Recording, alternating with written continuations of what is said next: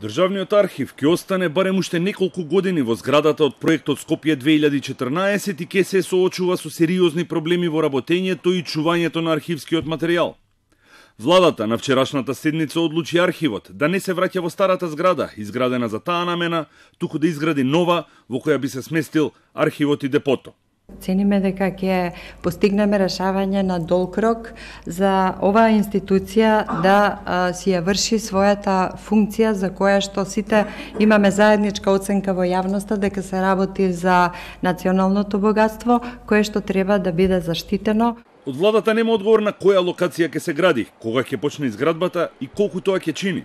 Веќе го задолживме на вчерашната седница на а, владата, а, Државниот архив, односно директорот, да ги обезбеди тие информации и во соработка со Министерството за финансии да се изнајде начин и можности за финансирање на истото со изготвување на акционен план.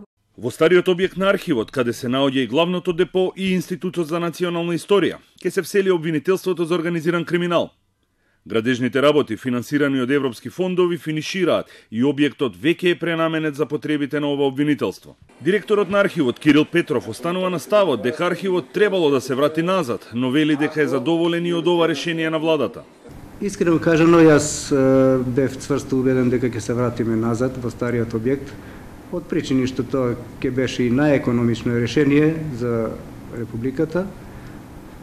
Меѓутоа, мислам дека и ова решение не е лошо. Сега за сега две локации се во игра каде би се градела новата зграда на архивот. По мене единствени можни решенија се две, од кои едното решение нова зграда и ново депо да се изгради покрај старото депо, кај судовите. А второто решение е да се изгради нова зграда и ново депо во градскиот архив. Според истражувањето на тимот од Бирн, изградбата на објектот во кој сега е сместен државниот архив, еден од најпрепознатливите од проектот Скопје 2014, траеше повеќе од 4 години и чинеше 42 милиони евра. Одговорност за сите пропусти при градбата до сега никој не побарал.